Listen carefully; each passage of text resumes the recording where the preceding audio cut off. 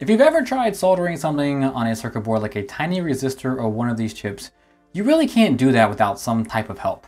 Now you could buy something like this, it's uh, called Helping Hands and basically a glorified magnifying glass with alligator clips. But even that's not going to get you the level of detail you need to accurately and reliably repair these micro components. But what if I told you there's something out there that can take your micro soldering efforts from frustrating to flawless? Today, we're taking a look at the JOYALENS digital microscope.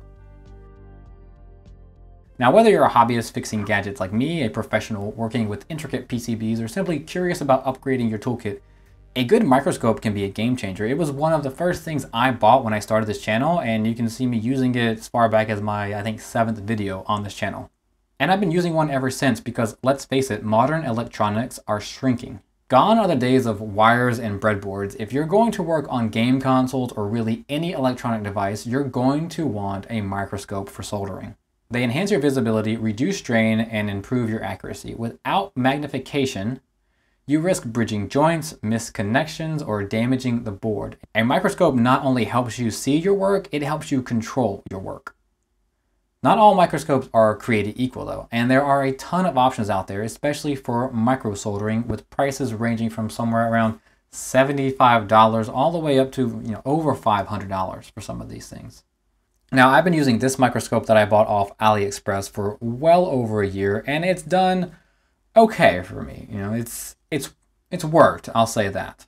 There have been some issues that I'll get to a little later in the video, but it's seen me pretty far on my journey.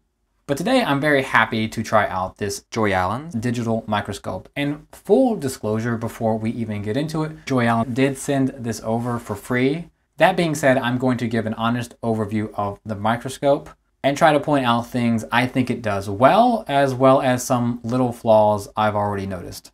First, we have to get this out of the box and assembled, and luckily it's a very simple tool to assemble. This microscope isn't just for micro soldering, so it does come with three different sized lenses, so you can look at coins as well as even smaller things like plants and bugs and such. I have no interest in those aspects of it, but I imagine it fulfills those roles just as well as it fulfills the role of micro soldering.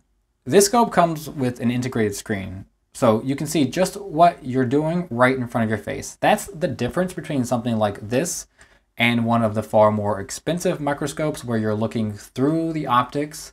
I've never really liked the idea of having to bend over and peer through an actual microscope while soldering. I've always been more partial to having a screen to look at. And because of the nature of the work I do with YouTube, I need it to record as well. You could install a scope like this on one of the stereoscopic microscopes, but then you're buying the stereoscopic microscope and you're buying this, which is just going to be more money, and no one wants that. Now that I've got this assembled, we can see just how well it all works. It's very nice having this scope be an all-in-one machine.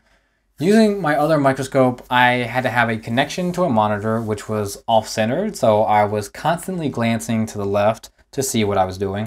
The scope also includes two gooseneck lights, which really help with the lighting situation. The gooseneck lights do a great job of reducing the glare that goes into the microscope because it's not just straight down like the ring light that I used on my old microscope.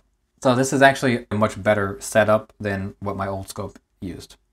The picture quality is amazing. It, it truly is. The scope is easy to focus, easy to get dialed in right where you want. You can zoom in and out a little using the knob on the side.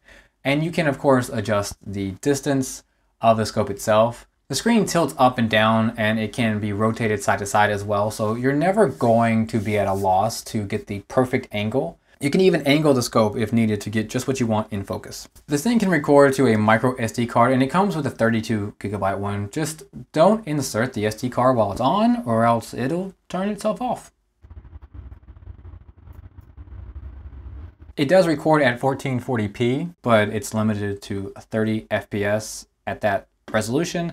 I prefer to have it at a higher frame rate while working because I think it, it just makes the picture clearer. Uh, there's less of a ghosting effect. I think the motion is smoother and less jarring for my eyes, but I'm not sure it makes any difference to the videos. I'll take as YouTube's compression probably just nullifies that frame rate anyway. There are other settings you can mess with to adjust for like the color and saturation, but I found it to be pretty good straight out of the box. Uh, all I'm looking for is a clear picture to help me with soldering tiny components, and it provided that. This specific scope comes with a 10 inch screen and that is the size I would recommend. It's nice having the larger real estate to look at. The monitor I was using was bigger obviously, but this is closer and it feels a little bit more intimate that way. I think if it was a smaller screen, you're, you're basically taking the image it gives you and compressing it down, probably making it harder to see the components at that distance. So I, I like having the larger screen that this one has, which is really nice. It does come with an HDMI cable so you can hook it up to a monitor or TV, but in that mode it doesn't record the video, so that's not something I'm going to use.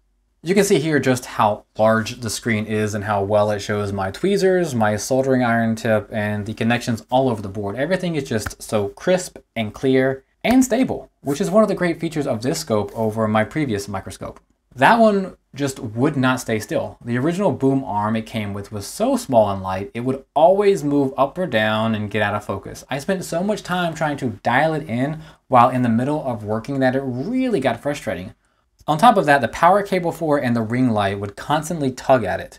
Uh, also, the HDMI port would you know pull on it, and it would pull it out of alignment and pull it out of focus because this one, when you have it set up and it's focused, when it goes up and down, it go it gets out of focus. And this one would move up and down on the boom arm a lot more than the new one does.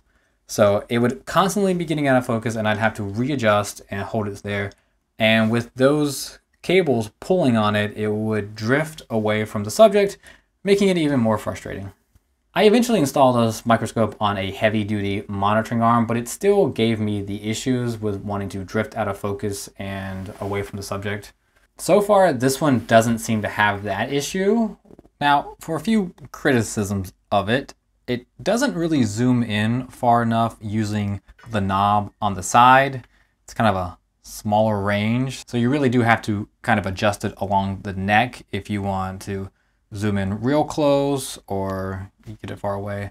I do wish the range for this gear here was a little bit like longer so you wouldn't have to adjust two things to get the zoom level you want, but it is what it is. One issue it does have, and this is sort of an issue with all of these built-in screen microscopes, is that its base is pretty small. It's heavy, which is good. I don't have any fear of it tipping over, but it is a little on the small size. So if you're going to be working on bigger boards like Xbox and PlayStation motherboards, you might have some issues with it not being even. It doesn't want to lay flat. When working on it, it would kind of rock on there and that's just something you're going to have to get used to or come up with another solution for. I've been using these wooden blocks to help lift the board off of the desk anyway before, so I think that's something I'll use here. I have seen other people who've taken these types of microscopes and installed them on, you know, like a monitoring arm or boom arm that's more heavy duty and more stable. And that might be an option if you're wanting to invest in that. It's just something to note. And if you're working on smaller boards, it's probably not going to be a problem at all. There's also a little limited mobility in where you can position the scope relative to the board you're working on. It slides in and out and obviously up and down and side to side, but that's really about it. So if you can't get the part of a board you're working on under the scope, you're gonna have issues.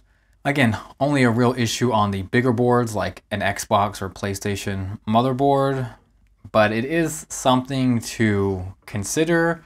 You know, if you're doing HDMI ports or something where you typically hang it over the side of your desk, this might present a challenge, though it is light enough that it's not that hard to pick it up and move it closer to the front of your desk. So, And it does come with this remote that's attached that adjusts the brightness of the lights as well as turns it off. Another benefit of this over my previous microscope setup is it's only one cord. This one cord powers the screen, the microscope, and the two gooseneck lights. My previous setup had a power cord for the microscope, the ring lights, I had these two lights I tried to use to reduce glare at times, and I had to have a monitor on to see what I was doing. That's five power outlets being replaced by one, which means I can keep more of my tools actually plugged in and not have to go under the desk and you know do the little switcheroo when I'm needing to use a you know voltage injection tool or the hot air gun. So that's nice. It really helped declutter that area, taking this setup and transforming it into this. If you're serious about soldering, a microscope isn't just a tool, it's a necessity. And I think this is one of the best microscopes out there. I'm sure it's very similar in features and such as to the other designs, but this is a design I would recommend, and this is a microscope I would recommend. Yes, JOYALENS did send it to me for free, but I'll be honest, I was in the market for a scope like this already because of the problems I was having keeping this one focused and stable. It was kind of annoying, and I, I really, unless you have a strong boom arm already that this will fit into, I'm not sure I actually recommend this style anymore.